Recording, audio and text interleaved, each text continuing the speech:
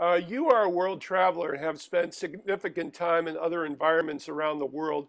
How has this privilege changed your perspective about our own xenophobia in the United States? Well, America, you know, is it a melting pot? Pot? What is it? You know, a lot of our history has been about assimilation, and that is um, there. When I think about it, you know, think about it because I spend so much time at Second City and we think about ensemble and like what makes a good ensemble. And you know, a good example is that like if you're doing a main stage show at Second City or whatever, it's like you don't want six Chris Farleys on stage. Like you want one Chris Farley on stage or one Bill Murray, you know, or one Tina Fey. Um, if it's 16 Tina Feys, it doesn't work. So true diversity is is in all of the ways in which we would understand it, and you want everyone to be as unique as possible uh, in terms of the, the, an ensemble sort of thing. But that would that would reflect writ large out to groups, to companies, and to the country as a whole. Um, that, and this is completely idealistic and probably never going to happen. But my firm belief, to answer it, is I think that diverse groups have the best chance to make to do the best work. And I think in Haiti, where Tim gets to, where it's him, he's there and he's just trying to bring in his expertise and he's essentially bringing like a connection to some funding. And then Matt, who's one of the translators, who's now a project lead for their organization, Gilbert, who's the guy who comes on sort of halfway through. Like you start to see a truly um, sort of diverse sort of experience there, which I think is encouraging. When you see the Jack in the first scenes in the film versus the Jack that picture locked the document years later, how much of him is still with you and how did he help you get the film done? We made a choice. I was always against putting myself in the film, and I was fighting against it very, very, very hard. Partly for I didn't want to distract. It was mostly I didn't want to distract. And also there's like some how I came up understanding and learning documentary was less like you just don't do that. And so there's partly just like a don't try not to do that sort of thing. And then coupled with I don't want to distract. And then we made a decision that although Tim is the main character, we also are following other people, Saimplice, you know, and we also needed to find a way to bring in the experts because early screenings showed that people, a no one knows where Haiti is. I remember I, my first trip, someone said to me, "So how many time zones away are you?" Like because they think Haiti in the mind is in Africa. It's in sub-Saharan Africa, and it's you know it's that, and it's one time zone for those people watching who don't know. It's just below America. I mean, it's right here. It's Eastern time zone.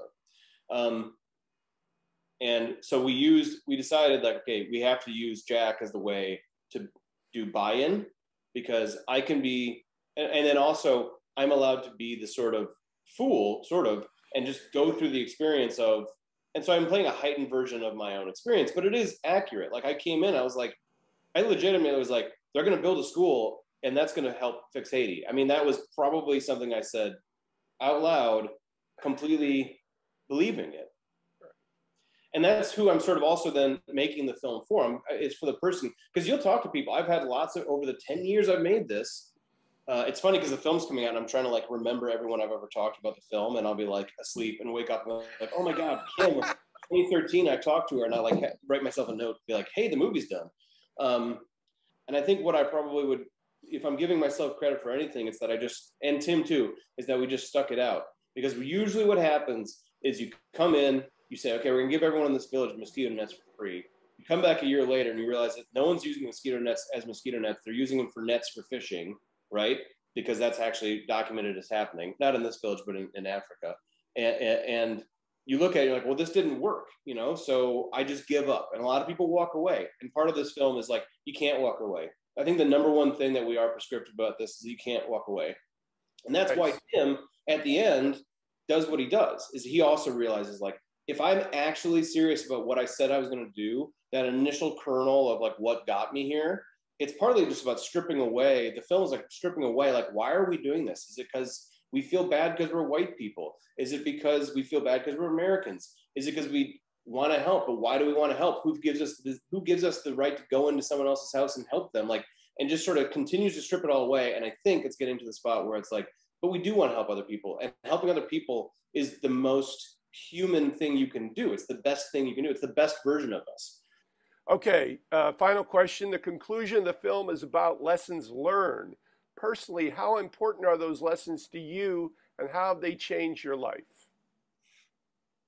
It seems almost trite now to say that making this film has changed my life because it. I mean, it's it's done more than that. I I, I probably couldn't spe- I couldn't say specifically or even quantify how much how different I am from having the experience of making you know this film. Then the lessons learned thing in terms of my own personal in the film again it's like sebastian says you know Haiti's like a plate of spaghetti which every single time you um you pulling a noodle and every single time you think you're reaching the end of the noodle you realize it's tied to another noodle. And you're pulling and you're pulling and you're pulling. And i think Haiti is an extreme example of that but it sort of has changed the way i view any problem. Like every single thing and under and trying to understand like this is all way more complicated and intertwined and interconnected than I think probably a younger version of me, or the, the, in the multiverse, the version of me that never made this film would have gone for. Every time you pull on the string, you're going to get connected to another string.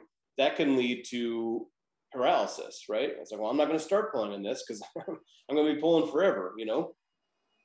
Or I think it's trying to find a way to pull it in a way that in a way that you know is meaningful or helpful or additive. Um, there's a bit of energy in this movie where it's just like, well, just F it, you know, it's just like, this isn't, it's how it's never going to work, you know? But then that comes back to that guy who I was at the beginning where it's like, it has to work. There's got to be a way we can figure this out, you know, because there's people who need help and there's people who have too much in the world and there's people who don't have enough. And like, we didn't say it, but it was implied early. And then we explicitly made the decision. It's like, we are not, this is not a normal social activism documentary, which is like, here's a problem here's what you can do about it write your congressman or do whatever they want you to do to fix this problem because i don't even believe in that i think actually i think those are arguably more hurtful because they have to rely on again perpetuating a narrative because it's storytelling it's entertainment we have to try to find a way to make it interesting and you lose that nuance to it. And i think part of what we're saying is that it's all about the nuance. Like what what normally gets cut out of this movie if someone else makes it we're leaving in.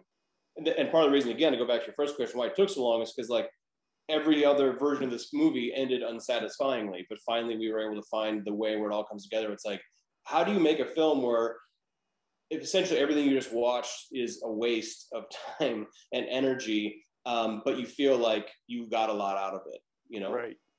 And that's, you know, that's sort of what we're trying to get to. And I think when we think about problems or, or, or lessons learned, I think that's it. It's it's really about like how do you approach it the first time with just a slightly different mindset towards what you're doing. This is Patrick McDonald for HollywoodChicago.com. Copyright 2022.